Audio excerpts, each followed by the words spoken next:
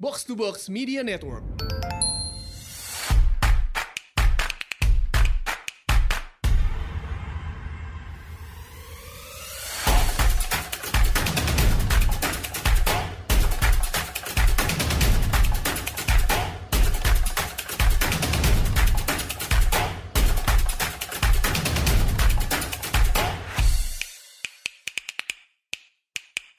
Selamat datang di Asumsi Bersuara dan kali ini saya kedatangan Mas Burhan nih, Mas Burhanuddin Muhtadi, uh, Direktur Eksekutif Indikator Politik. Mas. Um, akhirnya ber- berhasil juga ngundang Mas Burhan. um, hari hari ini kita mau bahas topik yang baru mulai rame ini. Jadi uh, belakangan juga Mas Burhan muncul di media beberapa kali saya baca. Um, jadi ada isu tentang reshuffle kabinet. Kan. Uh, jadi um, udah 100 hari lebih periode kedua gitu. Uh, dan ada uh, berbagai menteri-menteri yang banyak kontroversi lah dari yang positif sampai yang aneh-aneh juga banyak gitu. Um, tapi sebelum langsung bahas ke substansi reshuffle kabinet gitu ya ini kan baru tiga bulan menjelang empat bulan gitu. Betul. sebenarnya kecepatan gak sih mas kalau orang-orang mulai pada mengga- meng- apa, mewacanakan wah ini kayaknya saatnya reshuffle gitu gitu Sebenarnya dari sisi waktu agak terlalu cepat karena bagaimanapun kita perlu memberikan semacam benefit of the doubt terutama buat menteri yang relatif baru atau mereka yang betul-betul eh, baru masuk di periode kedua Pak Jokowi. Kan ada beberapa menteri lama yang dipertahankan di posisi yang sama dengan periode pertama maupun menteri lama tetapi di periode kedua Pak Jokowi menempati portofolio yang berbeda. Nah, khusus kategori menteri lama semacam ini, baik di portofolio lama maupun yang baru, mungkin kita bisa melakukan semacam evaluasi, cocok atau tidak untuk dilanjutkan. Tapi buat menteri-menteri baru, memang terkesan terlalu cepat. Meskipun, lagi-lagi, dilihat dari sisi eh, hak prerogatif presiden, tentu presiden punya penilaian apakah terlalu cepat atau tidak tergantung sang majikan yaitu presiden sendiri. Dan yang kedua dilihat dari sisi efektivitas pemerintahan. Tadi yang Ray sebut soal kontroversi itu kan kita bisa bedakan. Ada kontroversi yang sifatnya noise, artinya nggak ada isinya. Iya, Dan- banyak. dan, banyak gitu Iya. jumlahnya. ada juga kontroversi dari sisi kebijakan, lepas kita suka tidak suka, setuju tidak setuju, itu masih ada isinya. Nah, contohnya mudah sekali, misalnya kebijakan seorang Nadim untuk menggulirkan eh, mengha- penghapusan ujian nasional. Lepas dari pro kontranya, itu ada isinya. bisa Kemudian- memicu perdebatan Persis, gitu. Ya. eh, perdebatan berbasis policy gitu ya. Misalnya soal kampus merdeka, itu kan lepas dari kontroversinya masih ada isinya. Termasuk suka tidak suka soal kebijakan mengekspor lobster. Oh ini Edi, Edi Prabowo, Prabowo, itu iya. juga ada isinya. Iya. Suka tidak suka. Gitu. Tetapi kalau kemudian ada perdebatan yang saya sebut sebagai kontroversi yang terlalu banyak noise-nya, itu misalnya pernyataan Menteri Agama terkait dengan cadar Hmm, celana itu enggak cingkrang gitu. celana Iya. cingkrang itu enggak ada isinya itu itu malah melanggar eh, hak kebebasan berekspresi berpakaian termasuk pernyataan yang enggak ada isinya bukan menteri memang tetapi pejabat tinggi misalnya assalamualaikum diganti salam pancasila Oh, BPIP. kepala BPIP itu sama sekali gak ada isinya dan noise ini yang kemudian mengganggu Ya. ritme eh, memunculkan kegaduhan yang tidak perlu gitu Nah, em, tapi apakah eh, kontrover, maksudnya keputusan untuk eh, reshuffle itu harusnya dilihat dari mana sih? Apakah eh, kegaduhan-kegaduhan ini menjadi em, menjadi sinyal untuk presiden? Oke, saatnya orang-orang kayak gini hanya menambah kegaduhan aja nih, membawa berita-berita buruk gitu. Mas Burhan sempat nyebut, wah ini kasihan Pak Ali Mokhtar harus, Ngabalin. oh ya, kasihan Pak Ali Mokhtar ngabalin harus jadi ya. apa jubirnya buat nge, buat ngebe- ngeberesin perkataan-perkataan ini. Kalau menurut Mas uh, Burhan, uh, apakah ini cukup untuk menjadi ah kamu kebanyakan ngomong nggak penting out gitu? Sebenarnya ukuran yang paling tepat terkait dengan reshuffle tidaknya, yang paling tahu memang presiden. Jadi ukurannya tidak semata-mata kontroversi kegaduhan yang tidak perlu, tetapi yang paling tahu kan presiden yang tentu punya ukuran. punya semacam mata dan telinga terkait dengan kinerja di masing-masing kementerian. Cuma problemnya buat Presiden Jokowi yang relatif cukup sering melakukan reshuffle di periode pertama adalah dia tidak cukup punya banyak kemewahan untuk sering-sering lagi melakukan reshuffle di periode kedua. Kenapa tuh mas? Kan dia koalisinya gede banget nih. Semua partai kan nggak semua partai, hampir semua Hampir, partai betul. eh, di belakang dia. 74%. Harus logikanya harusnya dia mau ngapain aja bisa kan? Enggak ya?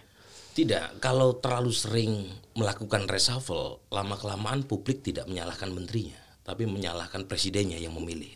Hmm. Jadi itu bahayanya kalau terlalu sering melakukan reshuffle, pertanyaannya adalah soal judgement. Bagaimana judgement seorang presiden ketika memilih menteri-menteri tadi? Lepas bahwa menteri-menteri yang dia pilih merupakan hasil kompromi dengan partai yang mendukungnya, tapi kata putus ada di presiden.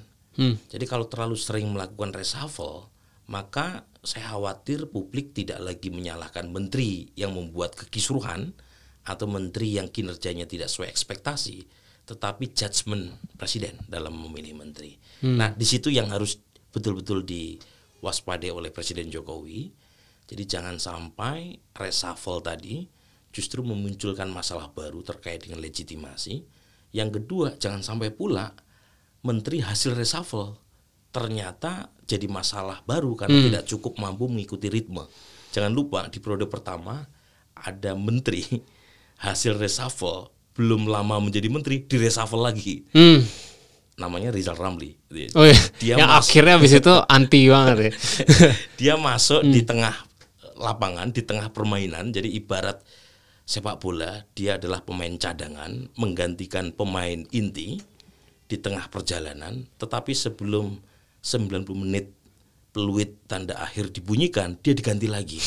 Nah, lama kelamaan kan bisa jadi masalah nih, terutama kalau kemudian waktu yang tersisa buat menteri yang baru yang menggantikan menteri lama tidak cukup punya waktu dan time is ticking. Ya. Ya, lama kelamaan kalau menteri barunya tidak bisa beradaptasi, lantas apa yang dikerjakan? Jadi Ya. betul-betul harus meng- memperhitungkan faktor yang matang Ya. karena ini periode terakhir buat Presiden Jokowi. Ya, kalau waktu periode pertama itu dia butuh hanya enam bulan sampai dia akhirnya melakukan re- reshuffle pertama kan ya mas. Kalau kalau di uh, periode kedua ini menurut Mas Burhan dia belajar dari pengalaman apakah um, ah kelamaan enam bulan atau bisa jadi itu harusnya lebih lebih strategik lah nggak jangan jangan kecepetan gitu. Memang soal waktu sangat tergantung kebutuhan ya. Misalnya ada beberapa pos kementerian yang bukan hanya kegaduhan yang diproduksi secara rutin, tapi juga kinerjanya tidak terlalu pas. Mungkin dari awal ketika proses pemilihan itu tidak tepat gitu ya. Dan saat yang sama juga menimbulkan luka di kalangan basis pemilih Pak Jokowi sendiri. Contohnya Menteri Gimana? Agama. Hmm, hmm, Oke.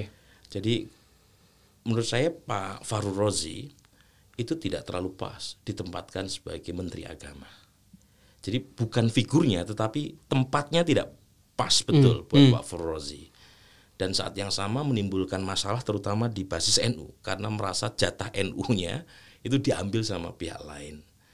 Saya tahu ada kontroversi atau gosip yang muncul bahwa sebenarnya Pak Farul Rozi mau ditempatkan di Menko Polhukam. Sementara Pak Mahfud awalnya mau diplot sebagai jaksa agung, tapi ada perubahan sangat dinamis menjelang pengumuman kabinet. Nah kemudian Pak eh, Mahfud MD konon tidak bersedia ditempatkan sebagai Menteri Agama, akhirnya masuk di Menko Polhukam. Tanda kutip alokasi yang awalnya diberikan buat Pak Farul Rozi.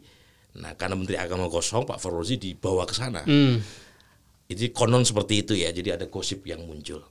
Tetapi poin saya adalah Pak Farul Razi figur yang kurang pas di Kementerian Agama selain berasal dari militer gitu ya. Tapi saat yang sama tidak menguasai secara teknokratik dan isu-isu yang mendasar ya terkait dengan masalah penanganan radikalisme. Dan coba cek dari awal awal sih agak lumayan ya ketika mengatakan saya menteri semua Iya. agama. Tapi habis itu kontroversi yang tidak perlu yang dia produksi. Banyak. Jadi soal pengertian radikalisme tidak tepat. Kemudian soal pemulangan ISIS dia berbeda pendapat dengan Mahfud MD. Iya. Jadi hal-hal yang justru malah membuat disilusi gitu bukan hanya di sebagian masyarakat tapi juga di kelompok pendukung Pak Jokowi sendiri. Mas kalau ditarik ke belakang ke ke penentuan kabinet di awal-awal ini kan sebenarnya dari awal juga orang banyak yang banyak yang mulai bertanya-tanya gitu. Pertama kan gemuk, ada wakil menterinya banyak. Em, terus juga yang tadi Mas Burhan sebut banyak yang kok terasa aneh gitu ya. Kenapa orang ini di di posisi itu?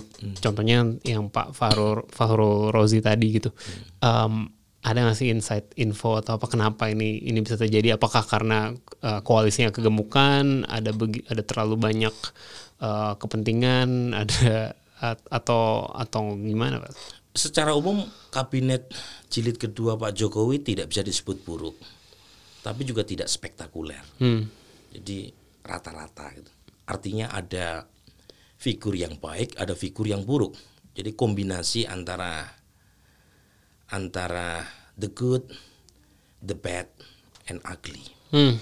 Itu kabinet jilid kedua Pak Jokowi.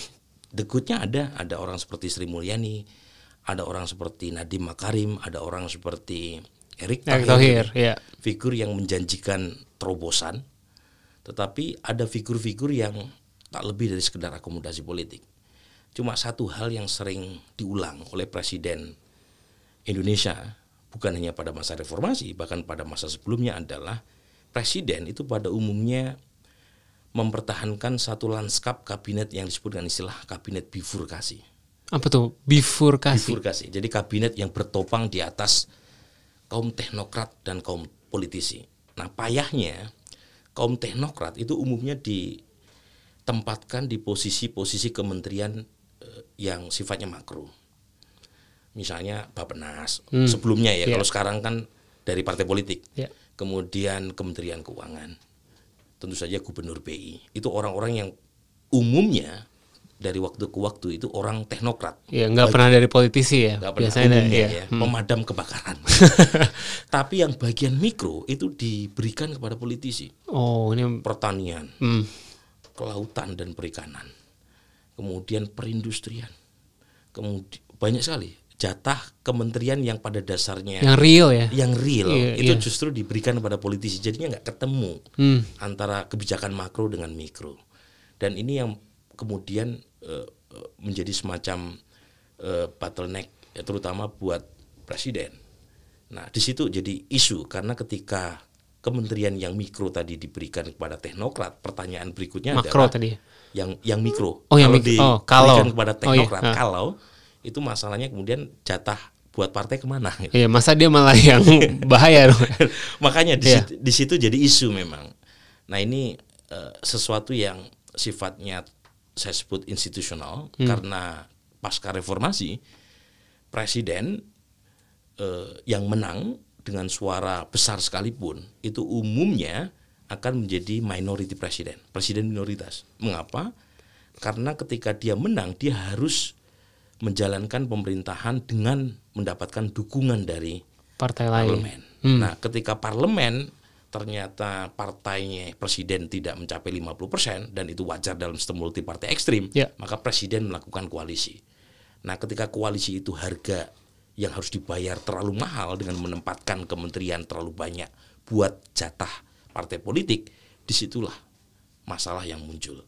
Jadi memang tidak mudah jadi presiden gitu ya. Kalau menurut Mas Burhan sendiri ideal idealnya itu gimana? Em, karena kan kalau misalnya kita membayangkan eh, kabinet yang fully zakon kabinet gitu ya, 100% orang-orang yang teknokrat, orang-orang yang apa em, profesional gitu. Iya. Bisa jadi mentok semua di DPR apa yang apa yang mau dila- dia lakukan Betul, gitu kan. betul. Apakah ada kompromi lain gitu harus? Iya itu too good to be true. Iya, ya, nggak bicara mungkin. tentang zakon kabinet. Ya, da- dan di sisi lain negara-negara yang parlementer semua menterinya Dari politisi partai, dan betul. banyak yang jalan-jalan juga pemerintahan. Kalau Mas Burhan tuh lihatnya gimana? Masalahnya kan kita gaduh-gaduh ya. Iya. Sistemnya, Iya. sistem pemerintahnya presidensial, sistem kepartaiannya multi partai ekstrim. Ya. Jadi tidak tegas. Di banyak sistem parlementer itu semua jatah menteri adalah jatah partai Iya. karena memang Pasti, pada dasar iya. betul. Tapi dalam konteks sistem presidensial seharusnya sistem kepartaiannya lebih sederhana. Jadi kalau lebih sederhana jadi lebih tegas mana partai pemerintah, mana partai oposisi. Nah, Indonesia memang satu eksperimen baru yang tidak perlu kita kutuk karena ini bagian dari eh, realitas sistem presidensial multipartai, tapi yang jelas aktor dalam ini adalah presiden itu punya kewenangan besar. Jadi dia punya satu kelonggaran apa yang disebut dengan istilah presidensial power untuk mengatur koalisi yang betul-betul pas. Jadi menjadi presiden di Indonesia memang susah-susah gampang, gitu ya. Karena dia punya presidensial power, tetapi kalau dia larut dalam koalisi besar yang membuat dirinya tidak bebas, maka dia akan menjadi tawanan, menjadi sandera dari koalisi itu. Nah ini yang kita harapkan Pak Presiden Jokowi mampu menghindar dari kutukan sistem presidensial. Hmm. Karena dalam konteks sekarang, kalau dia gagal, sistem presidensial berubah jadi sistem presiden sial beneran. gitu ya. Mas, selain kutukan eh, kutukan sistem presidensial, sebenarnya ada juga kan Mas Burhan pernah nyebut soal kutukan periode kedua ya. Ya. Se- eh, second term curse gitu. Jadi kalau kalau di Amerika mungkin istilahnya lame duck. Lame duck presiden kan ketika seorang presiden tuh sudah tidak bisa terpilih lagi gitu kan. Harusnya kecuali ada perubahan konstitusi atau apa. Moga-moga nggak terjadi.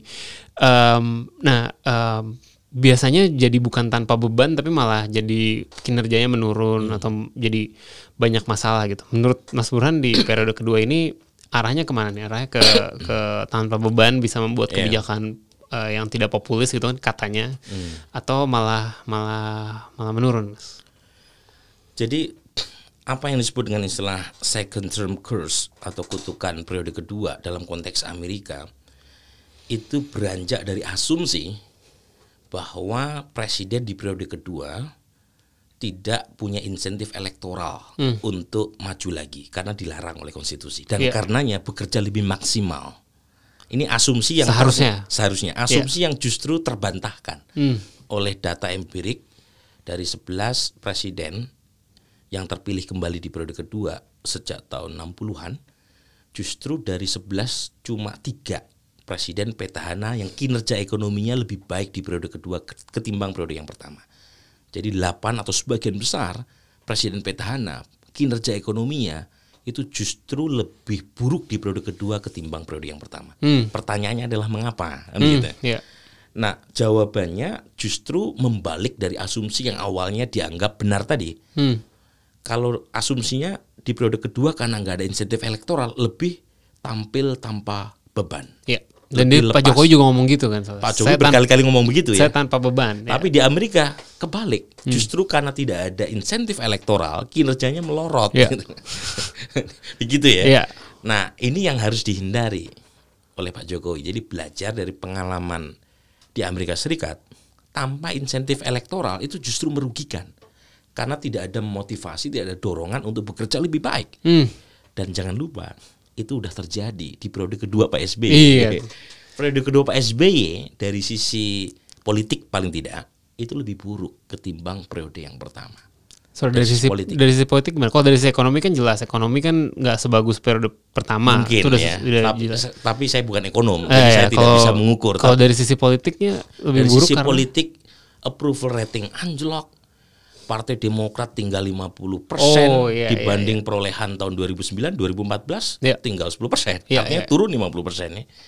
Kemudian ada banyak eh, ontran-ontran politik, kasus Senturi, kasus oh, korupsi hambalang, yang melibatkan elit Partai Iya, Demokrat. iya, ya. Jadi iya. periode kedua Pak SBY itu lebih buruk dari sisi politik, dari sisi ekonomi mungkin benar ya. Periode kedua juga lebih buruk. Saya tidak tahu persis. Hmm, iya. Saya bukan ekonom.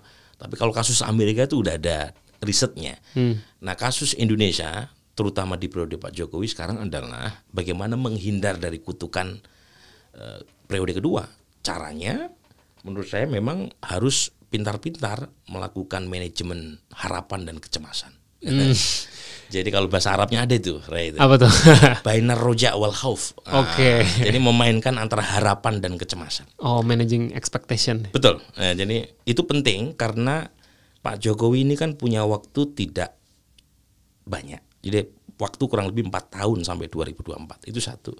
Yang kedua modal popularitasnya ju- juga tidak setinggi Pak SBY di awal periode kedua Pak SBY.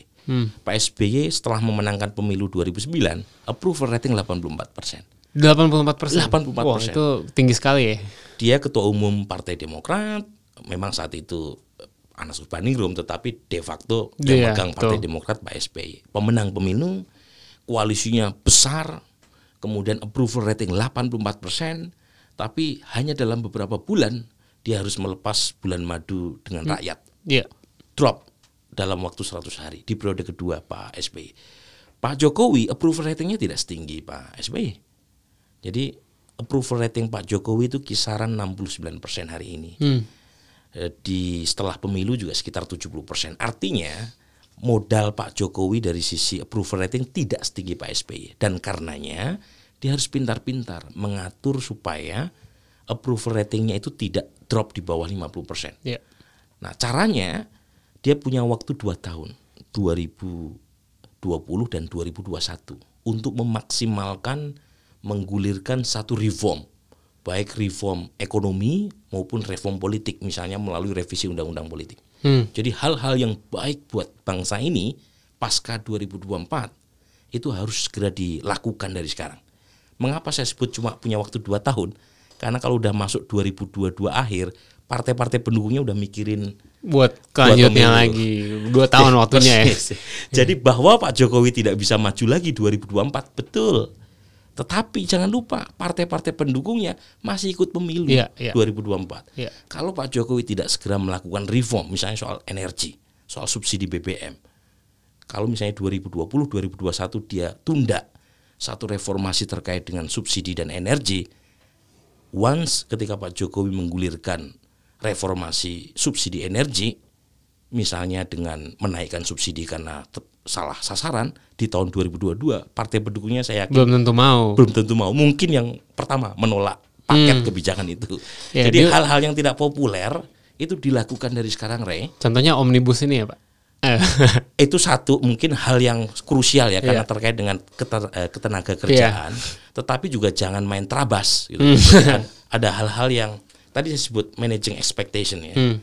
Ada paket harapan, ada paket kekhawatiran. Iya. Jadi jangan masyarakat dibombardir dengan isu-isu yang tidak populer terus. Ada kenaikan ini, kenaikan itu. Saat yang sama masyarakat tidak diberi kabar gembira sama sekali. Jangan lupa zaman Pak Jokowi periode pertama itu infrastruktur naik kencang sekali. Iya. Tetapi dengan mengurangi subsidi buat masyarakat. Nah sekarang diatur tuh. Istilahnya ada yang tidak populer, saat yang sama juga diikuti dengan kebijakan yang lebih populis, yang tepat sasaran. Kalau semua kebijakan ada kenaikan ini, kenaikan itu, semua tidak populer, itu juga mengkhawatirkan Jadi karena harus- approval rating bisa drop Harus ada wins-nya juga ya, walaupun Ada, ya, walaupun betul. ada yang nggak populer juga gitu. dan harus dilakukan cepat. Hmm. Karena kalau tidak segera partai-partai pendukungnya sudah mikirin Iya. 2024 gitu. Mas, eh, ini menarik juga kan tadi kesannya eh, dia udah katanya bisa jadi orang-orang tuh terkena second term curse itu karena tidak ada motivasi lagi buat apalah. Gue udah jadi presiden nggak bisa lanjut lagi juga membuat apa sesuatu. Tapi kan Pak Jokowi ini ini mungkin lanjut ke pertanyaan selanjutnya juga kan ada indikasi dinastik juga kan. Dia Iya. em, apa anaknya menantunya eh, pada maju di mana-mana. Bukannya itu juga jadi motivasi ya. Dia harus harus bagus supaya nama dia juga bisa dipakai anaknya nanti atau atau orang-orang dekatnya untuk eh, melanjutkan legasinya gitu kan. Bahasa bagusnya atau Iya, ada inilah ya positifnya ya. eh Mungkin saja, tapi intinya eh, kalau pengalaman di Amerika karena ketiadaan insentif elektoral di periode kedua, umumnya presidennya lebih relax gitu ya, dalam pengertian yang tidak terlalu termotivasi untuk bekerja lebih baik. Tapi Pak Jokowi kan sudah menyatakan dia akan tampil tanpa beban, tapi itu hal-hal yang terkait dengan agenda ekonomi hmm, hmm. dan dalam wawancara yang dengan BBC dia udah akui eh, agenda pemberantasan korupsi, Iya, iya. agenda lingkungan itu bukan ham gitu ya ya that's not my priority udah clear. Iya, ya. iya. Nah eh, meskipun satu ya eh, kalau soal ekonomi mungkin kita perlu eh, apa mengawasi ya dalam pengertian perlu didorong supaya agenda itu betul-betul jalan. Tetapi dalam soal HAM dan anti korupsi itu kelihatan memang nggak ada motivasi elektoralnya lagi buat Pak Jokowi karena nggak nggak bisa maju lagi. Di periode pertama beliau masih concern soal isu itu. Kenapa? Karena masih ikut pemilu 2019 biar gimana masih concern ya masih concern, masih ada segmen pemilih terutama pendukungnya yang betul-betul pengen Pak Jokowi sebagai the champion of anti corruption. Tetapi setelah periode eh, setelah 2019 itu Setelah kan pemilu, kelihatan- belum bahkan periode kedua ya. Betul. Belum Sebelum periode itu, kedua. Waktu dia menyatakan eh, victory speech nggak ada itu eh, kata-kata anti korupsi yang dia sebut. Itu kan artinya menunjukkan sekali lagi karena ketiadaan insentif elektoral, isu sepenting anti korupsi pun lepas dari prioritas Pak Jokowi. Nah sekarang pertanyaannya adalah bagaimana itu mengembalikan lagi Iya. meskipun tidak ada insentif elektoral lagi. Caranya menurut saya memang suka tidak suka. Saya beberapa kali diundang oleh kawan-kawan eh, anti korupsi ya. Caranya adalah memasukkan agenda anti korupsi dalam nalar atau logika yang dipakai Pak Presiden Jokowi. Ini yang nggak match nih. Gimana tuh maksudnya Mas Burhan? Maksudnya begini, selama ini kan nggak ketemu itu. Misalnya eh, aktivis anti korupsi mengatakan justru kalau tidak ada agenda anti korupsi pembangunan akan eh, akan eh, inefisien. Hmm. Tetapi dalam banyak hal studi di banyak negara kadang-kadang anti korupsi itu bukan sekedar apa ada istilahnya itu menjadi oli Oli pembangunan, iya. dan beberapa hal terbukti.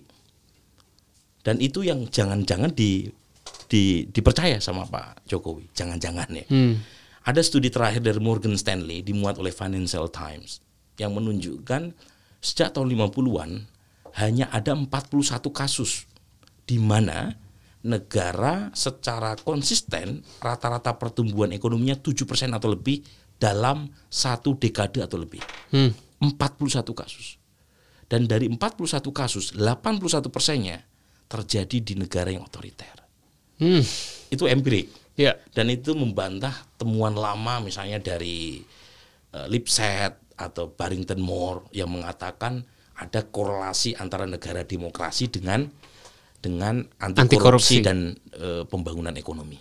Ternyata temuan terakhir agak mengkhawatirkan. Wah bahaya nih Mas Burhan kalau dikutip media nih eh, saya Burhan tadi korupsi oli pembangunan nih. Ini data empiris ya. Iya. Dan yang lebih membahayakan adalah dua kasus yang menjadi iklan dari kejadian di mana negara maju pertumbuhan ekonomi tinggi dan itu terjadi di negara otoriter adalah Vietnam dan Cina. Bukan Indonesia ya? Indonesia zaman Soeharto. Jangan Soeharto ya. Jadi lagi-lagi kalau yang mutakhir kan Cina sama. Iya. Nah ini yang harus di, dibantah oleh kawan-kawan anti korupsi. Caranya adalah atau anti korupsi atau mereka yang pro lingkungan. Karena ini kan teman-teman yang sekarang ter terpinggirkan oleh agenda Pak Jokowi yang menurut mereka agenda jangka pendek Iya. mengundang investasi. Caranya gimana? Tunjukkan data-data yang menunjukkan bahwa korupsi sebagai oli pembangunan tidak benar dalam kasus Indonesia tunjukkan misalnya satu agenda anti korupsi yang linier dengan anti- agenda ekonomi termasuk soal lingkungan tunjukkan bahwa kalau misalnya pembangunan itu tidak beragenda lingkungan maka investor tidak akan datang. Itu baru Pak Jokowi ngambil tuh ide. Caranya mudah. Bilang saja investor di mana-mana kalau pengen naruh uang itu butuh kepastian dan eh, sustainability. Betul kan? Pasti orang nggak mau naruh uang sebegitu banyak kalau tidak ada keberlangsungan. Dan supaya ada keberlangsungan ekonomi lingkungan yang penting. Masa uang naruh begitu banyak di Jakarta sementara Jakarta sinking? Iya. Nah, itu yang menurut saya agak lupa sama teman-teman NGO masukkan satu perspektif dengan logika yang dipakai Pak Jokowi. Kalau misalnya melupakan agenda anti korupsi, melupakan agenda konservasi, maka pembangunan ekonomi sebaik apa pun akan cepat punah. Nah, itu yang menurut saya eh, perlu dipikirkan. Kalau misalnya tidak, saya kira Pak Jokowi asik tuh dengan agendanya sendiri karena dia merasa jangka pendek di kepala dia ada resesi ekonomi global mau tidak mau undang investor padahal kenyataannya kalau kita bicara sama ekonom investor yang datang ke kita itu investor jangka pendek Hmm. Hot money. hot money nggak Ya. pernah yang nanam uang lama Hmm. nah di situ tuh kawan-kawan yang pro konservasi harusnya bersuara lebih kencang dengan menggunakan logika yang bisa dipahami oleh Pak Jokowi. Kayak mungkin di kepala Pak Jokowi kalau misalnya selama lima tahun ini ekonomi bagus, gue dikenangnya dengan baik gitu kan. Kalau gue memberantas korupsi, mungkin gue nambah musuh nanti pas pas udah nggak ini lagi. Itu ada di tulisan saya di East Asia Forum juga. Saya Ah. bilang salah satu mengapa Pak Jokowi lebih menitik beratkan pada ekonomi ketimbang anti korupsi karena soal isu ekonomi itu isu yang dicintai oleh banyak orang termasuk politisi. Gitu ya. Sementara isu korupsi itu musuhnya adalah kawan-kawan Pak Jokowi sendiri. Gitu. Hmm, nah. Itu salah satu memang yang menyebabkan eh, beliau sepertinya kurang tertarik gitu ya. Yang kedua memang harus diakui eh, karena prioritasnya ke ekonomi dan kalau ke, sebenarnya Pak Jokowi orang yang tidak punya ideologi misalnya anti atau pro pemberantasan korupsi, dia netral-netral saja. Tapi sepanjang isu anti korupsi ini dianggap bisa menjadi constraint buat dirinya untuk menggulirkan agenda ekonominya, Nah baru. baru dia. Hmm, Makanya menarik- menarik itu juga tuh. nih. Makanya kalau Anda ingat 2015 ketika Pak Jokowi mengeluarkan surat edaran kepada kepala daerah supaya jangan khawatir sama KPK. Keluarkan government spending karena ekonomi lagi slow down. Dia keluarkan itu surat edaran. Apa alasannya? Karena kepala daerah pada takut ngeluarin duit. Nah di situ baru dia punya concern. Wah jangan sampai bikin takut kayak gini dong. Kita kan butuh government spending Hmm. untuk ngasih semacam sinyal kepada swasta bahwa pemerintah tetap jalan. Nah di situ dia merasa wah kok agenda korupsi dalam posisi yang tidak sesuai dengan agenda dia dalam soal ekonomi. Hmm, ini nah ini yang sih. Ini yang menurut saya harus segera dituntaskan. Iya. Jadi bagaimana caranya antara agenda korupsi dengan agenda pemerintahan korupsi dengan agenda ekonomi itu bisa eh, apa bisa berjalan one in one gitu loh ya. Iya. Itu yang jadi agenda penting. Oke, Mas, eh, ini mumpung ada Mas Burhan nih, walaupun waktu kita udah tinggal dikit, tapi mumpung ada Mas Burhan, saya nggak nggak afdol kalau nggak nanya yang lebih jauh nih. Ini, Eh, ini kan dari tadi kita bahas menteri-menteri ca- cari perhatian lah gitu kan, banyak bikin ko- kontroversi, Iya. caper lah dia.